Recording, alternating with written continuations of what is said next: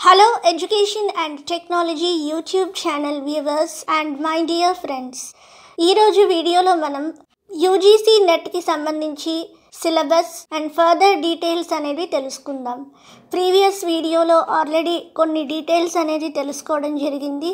ఇంకా ఆ వీడియో ఎవరైతే చూడలేదో వాళ్ళ కోసం ఆ వీడియో యొక్క లింక్ అనేది ఈ వీడియో కింద డిస్క్రిప్షన్లో ప్రొవైడ్ చేయడం జరుగుతుంది.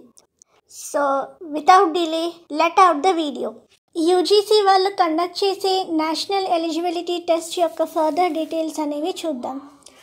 ఈ నేషనల్ ఎలిజిబిలిటీ టెస్ట్ అనేది ఆల్ ఓవర్ ఇండియాలో కండక్ట్ చేస్తారు. ఈసారి మొత్తం త్రీ నైంటీ సెంటర్స్లో కండక్ట్ చేయడం జరుగుతుంది.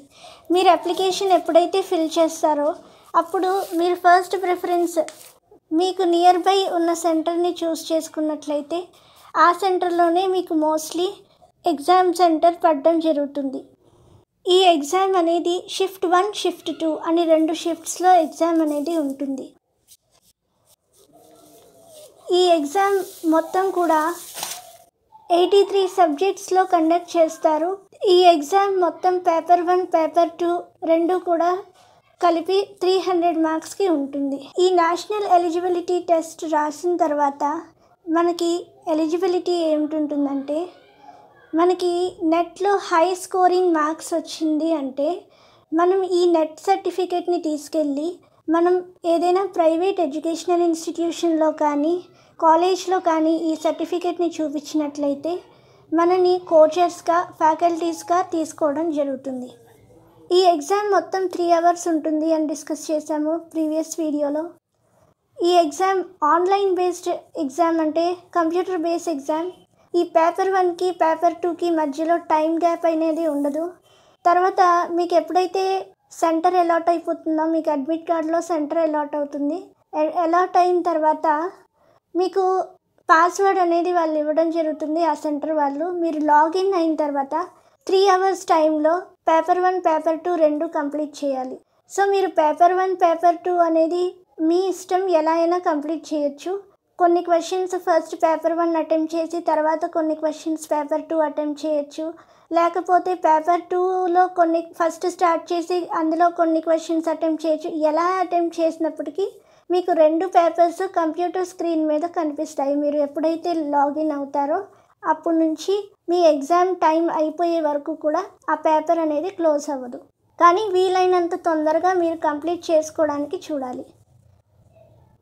ఈ ఎగ్జామ్ మొత్తం మనకి పేపర్ వన్లో టెన్ టాపిక్స్ అనేవి ఉన్నాయి. పేపర్ వన్లో మొత్తం ఫిఫ్టీ క్వశ్చన్స్ వస్తాయి హండ్రెడ్ మార్క్స్ సో ఈ టాపిక్స్ ఏంటంటే teaching aptitude research aptitude comprehension communication mathematical reasoning and aptitude logical reasoning data interpretation information communication and technology దీన్నే ఐసీటీ అంటారు. People development and environment higher education system ఈ topics paper వన్లో ఉంటాయి. Paper టూలో మీ concern subject ఏది ఉంటుందో ఆ సబ్జెక్టే paper two అవుతుంది కాబట్టి కానీ మీరు పేపర్ వన్ పేపర్ టూ రెండు ప్రిపేర్ అయినప్పుడు ఫండమెంటల్స్ నుంచి పీజీ లెవెల్ వరకు అన్నీ చాలా నాగ్గా కీన్గా స్టడీ చేస్తేనే మీరు ఈ నెట్ ఎగ్జామ్ అనేది క్వాలిఫై అవుతారు. ఎందుకంటే మీకు క్వశ్చన్ పేపర్లో క్వశ్చన్స్ ఎలా వస్తాయంటే టూ ఆర్ త్రీ టాపిక్స్ని కలిపి ఒక క్వశ్చన్లోనే ఇవ్వడం జరుగుతుంది. అలా ఇచ్చి ఫోర్ ఆప్షన్స్ ఇస్తారు. అంటే మనకి ఇది ఆబ్జెక్టివ్ బేస్ ఎగ్జామ్ అని తెలుసుకున్నాం కదా ప్రీవియస్ వీడియోలో అయితే ఇలా ఎందుకు ఇస్తారు అంటే మనం హయ్యర్ ఎడ్యుకేషన్స్కి వెళ్ళినప్పుడు మనం ఎంతవరకు స్టాండర్డ్గా ఉన్నాము? కమ్యూనికేషనల్గా ఎలా ఉన్నాము? లాంగ్వేజ్ పరంగా ఎలా ఉన్నాము? మ్యాథమెటికల్గా ఎలా ఉన్నాము? ఇవన్నీ వాళ్ళు మెంటల్ ఎబిలిటీస్ ఎలా ఉన్నాయి? ఇవన్నిటినీ వాళ్ళు చెక్ చేయడానికి మనకి ఈ నెట్ క్వశ్చన్ పేపర్ అలా డిజైన్ చేయడం జరుగుతుందన్నమాట. అయితే పేపర్ వన్ కొంతవరకు మనం థింక్ చేసి రాయొచ్చు అని మాత్రం భ్రమలో ఉండకూడదు. ఎంత బాగా ప్రిపేర్ అవుతే అంత బాగా రాయొచ్చు. ఇక పేపర్ టూ విషయానికి వచ్చేస్తే పేపర్ టూలో కన్సర్న్ సబ్జెక్ట్ ఉంటుంది కాబట్టి కొంచెం పేపర్ టూని కూడా మనకి ఎంత తెలిసిన సబ్జెక్ట్ అయినా టాప్ టు బాటమ్ బాగా స్టడీ చేయాలి. ఇంకా చెప్పాలంటే పేపర్ వన్ కన్నా పేపర్ టూలోనే క్వశ్చన్స్ని చాలా వరకు కన్ఫ్యూజ్ చేసి ఇవ్వడం జరుగుతుంది. కాబట్టి కొంచెం ఆన్సర్ చేసేటప్పుడు క్వశ్చన్ ఒకటికి రెండు సార్లు చదివి ఆన్సర్ చేయాలి. ఈ నెట్ కోసం ప్రిపేర్ అవ్వడానికి రెండు బుక్స్ అనేది ఇచ్చారు. అవి ఏంటంటే హరిహంత్ ఉపకార్ ఒక బుక్. ఇంకొకటి టాటా మేక్. ఈ రెండు బుక్స్లో మీరు టాపిక్స్ క్లియర్గా కావాలి అంటే ఈ రెండు బుక్స్ చదువుకోవచ్చు. వీటితో పాటు మీకు ఇంకేవైనా రిఫరెన్సెస్ దొరికితే అవైనా చదవచ్చు. పేపర్ టూలో మీ దగ్గర ఉన్న ఇంటర్ నుంచి ఇప్పుడు పీజీ లెవెల్ వరకు ఉన్న నోట్స్తో పాటు ఈ నెట్కి సంబంధించి కొన్ని బుక్స్ దొరుకుతాయి బయట. సబ్జెక్ట్ ఫండమెంటల్స్ నుంచి పీజీ లెవెల్ వరకు ఉండే బుక్స్ దొరుకుతాయి. ఆ బుక్స్ మీరు ప్రిపేర్ అయినట్లయితే పేపర్ టూ కూడా ఎక్సలెంట్గా అటెంప్ట్ చేయొచ్చు. ఈసారి డిసెంబర్ ట్వంటీ ట్వంటీ టూలో ఈ ఎయిటీ త్రీ సబ్జెక్ట్స్లో ఒక సబ్జెక్ట్ న్యూ సబ్జెక్ట్గా ఇంక్లూడ్ చేశారు. అదేంటంటే ఇండియన్ నాలెడ్జ్ సిస్టమ్ అని చెప్పేసి ఒక సబ్జెక్ట్ని ఇంక్లూడ్ చేశారు. దీని కోడ్ వచ్చి one zero three. Bonus marks గురించి డిస్కస్ చేసుకున్నట్లయితే ఇప్పుడు కొన్ని క్వశ్చన్స్ మనకి కన్ఫ్యూషన్గా అనిపించి కొన్ని క్వశ్చన్స్కి ఒకే దానికి రెండు మూడు ఆప్షన్స్ కరెక్ట్ అయ్యే ఛాన్సెస్ ఉంటాయి. అలాంటప్పుడు మనం ఆ క్వశ్చన్ని అటెంప్ట్ చేస్తే వాళ్ళు దానికి మార్క్స్ అనేది ఇవ్వడం జరుగుతుంది. అయితే ఇది వాళ్ళు కరెక్షన్ చేసినప్పుడు ఆ క్వశ్చన్కి టూ త్రీ ఆన్సర్స్ ఉన్నట్లయితేనే వాళ్ళు మార్క్స్ అనేది ఇస్తారు. ఇంకొకటి ఏంటంటే దీనిలో నెగిటివ్ మార్క్స్ అనేవి ఉండవు. సో నెగిటివ్ మార్క్స్ ఉండవు కాబట్టి మ్యాక్సిమం మీరు వన్ ఫిఫ్టీ క్వశ్చన్స్ ఉంటాయి మొత్తం. పేపర్ వన్లో ఫిఫ్టీ పేపర్ టూలో హండ్రెడ్ సో ఈ one fifty questions within టైంలో మీరు పెట్టినట్లయితే ఇలాంటి ఛాన్సెస్ ఇలాంటి సిచ్యువేషన్స్ ఏమైనా ఒక్క క్వశ్చన్కి రెండు మూడు ఆన్సర్స్ కరెక్ట్ అవ్వడం ఒక క్వశ్చన్కి రెండు ఆప్షన్స్ కరెక్ట్ ఆన్సర్గా ఉన్నట్లయితే మీరు ఆ మార్క్స్ అనేవి స్కోర్ చేసుకోవడం జరుగుతుంది. అందుకనే నెగిటివ్ మార్కింగ్ ఉండదు కదా అని థింక్ చేయకుండా అయితే రాయకండి కానీ రాసే ఆన్సర్స్ ప్రాపర్గా అన్ని క్వశ్చన్స్ అటెంప్ట్ చేయడానికి ట్రై చేయండి. ఈ ఎగ్జామ్ ప్రిపేర్ అవ్వాలంటే డే వన్ నుంచి బిఫోర్ ఎగ్జామ్ డే వరకు కూడా చాలా అంటే చాలా నాగ్గా ప్రిపేర్ అవ్వాలి. ఐఏఎస్ ఎగ్జామ్కి సివిల్స్ ఎలాగో టీచింగ్ ఎగ్జామ్స్కి నెట్ అలాంటిది. సో ఎగ్జామ్ క్వాలిఫై అవ్వడం చాలా డిఫికల్ట్ సబ్జెక్ట్ పరంగా చాలా అంటే చాలా స్ట్రాంగ్గా ఉండాలి. అలా ఉండాలంటే మనకి ఎగ్జామ్ ఒక టూ వీక్స్లో ఉంది అనగా కొన్ని junior lecturer previous papers degree lecturer previous papers previous teaching papers ఏమైనా ఉంటే అవి తర్వాత previous year NET previous year papers ఉంటే అవి టెన్ మాక్ టెస్ట్ ఇవన్నీ రాస్తే అప్పుడు టైం మేనేజ్మెంట్ తెలుస్తుంది. మనం ఏ ఏ టాపిక్స్లో వీక్గా ఉన్నామో కూడా మనం స్టడీ చేసి అండర్స్టాండ్ చేసి తెలుసుకోవడానికి ఈజీగా ఉంటుంది.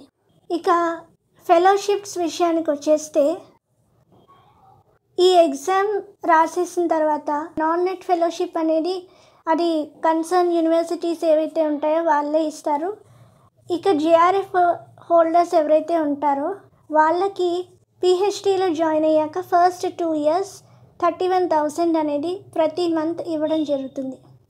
అయితే ఎవరైతే హాస్టల్స్లో ఉండరో వాళ్ళకి యూజీసీ వాళ్ళు అడిషనల్గా eight thousand five hundred rupees హెచ్ఆర్ఏగా thirty percent add చేసి ఇవ్వడం జరుగుతుంది.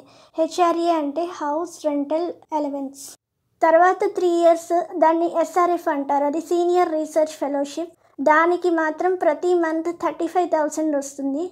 ఓబీసీ ఎస్సీ వాళ్ళకి నేషనల్ ఫెలోషిప్ అని ఉంటుందన్నమాట. ఈ విధంగా ఫెలోషిప్ అనేది మనకి శాంక్షన్ చేయడం జరుగుతుంది యూజీసీ వాళ్ళు. ఇప్పుడు కట్ ఆఫ్ చూసుకున్నట్లయితే ఈ కట్ ఆఫ్ అనేది ప్రతి ఎగ్జామ్కి డిఫరెంట్ డిఫరెంట్గా ఉంటుంది. అంటే ప్రతిసారి వాళ్ళు ఎగ్జామ్ కండక్ట్ చేసినప్పుడల్లా కట్ ఆఫ్ అనేది మారుతుంది. ఇది ఎలా ఇస్తారంటే ఫస్ట్ సబ్జెక్ట్ని బట్టి తర్వాత ఆ సబ్జెక్ట్లో ఎంతమంది క్యాండిడేట్స్ అప్లై చేశారు ఆ అప్లికేషన్స్ని బట్టి తర్వాత basing on question paper question paper ఈజీగా వస్తే ఒకలాగా వస్తుంది కట్ ఆఫ్ టఫ్గా వస్తే ఇంకోలా తీస్తారు. అయితే దీనికి లెక్చరర్షిప్కి అయితే నాన్ రిజర్వ్ వాళ్ళకి టూ హండ్రెడ్ మార్క్స్ రావాలి జేఆర్ఎఫ్ వాళ్ళకైతే టూ ట్వంటీ మార్క్స్ రావాలి. కొన్ని సబ్జెక్ట్స్లో వన్ ఎయిటీ మార్క్స్ని లెక్చరర్షిప్ కింద తీస్తున్నారు. జేఆర్ఎఫ్ హోల్డర్స్కి టూ హండ్రెడ్ మార్క్స్ని కట్ ఆఫ్గా తీయడం జరిగింది కొన్ని సబ్జెక్ట్స్లో ఆల్రెడీ మనం ఎలిజిబిలిటీ క్రైటీరియా గురించి ప్రీవియస్ వీడియోలో డిస్కస్ చేసాము. నాన్ రిజర్వ్డ్ కేటగిరీ వాళ్ళకి ఫిఫ్టీ ఫైవ్ పర్సెంట్ మార్క్స్ అనేది రావాలి. అలాగే రిజర్వ్డ్ కేటగిరీస్ ఏవైతే ఉన్నాయో వాళ్ళకి SC ST OBC PH transgenders non creamy layers వీళ్ళకి మాస్టర్స్ డిగ్రీలో ఫిఫ్టీ పర్సెంట్ మార్క్స్ వచ్చినట్లయితే ఈ ఎగ్జామ్ రాయడానికి వాళ్ళు ఎలిజిబుల్ ఏజ్ క్రైటీరియాకి వచ్చేసినట్లయితే February first twenty twenty three కల్లా జేఆర్ఎఫ్ అప్లై చేయాలి జేఆర్ఎఫ్ కొట్టాలి అనుకునే వాళ్ళు థర్టీ ఇయర్స్ అయినా ఉండాలి థర్టీ ఇయర్స్కి బిలో ఉంటేనే వాళ్ళు జేఆర్ఎఫ్కి ఎలిజిబుల్ అలాగే OBC SC ST PH transgenders non creamy layers womens ఎవరైతే ఉన్నారో వీళ్ళకి ఫైవ్ ఇయర్స్ అడిషనల్గా ఇవ్వడం జరిగింది. అంటే వీళ్ళు థర్టీ ఫైవ్ ఇయర్స్ వరకు కూడా వీళ్ళు జేఆర్ఎఫ్కి ఎలిజిబుల్ వీళ్ళు అప్లై చేసుకోవచ్చు. అసిస్టెంట్ ప్రొఫెసర్స్కి మాత్రం ఏజ్ లిమిట్ అనేది లేదు. యూజీసీ నెట్ అప్లికేషన్ యొక్క last date January seventeenth evening five PM వరకు. సో త్వరగా అప్లై చేయని వాళ్ళు ఇంకా త్వరగా అప్లై చేయండి. ఇది friends complete details and updates of UGC NET. So ఇంకేమైనా డౌట్స్ ఉంటే కామెంట్ బాక్స్లో తెలియచేయండి. అంతవరకు నమస్కారం.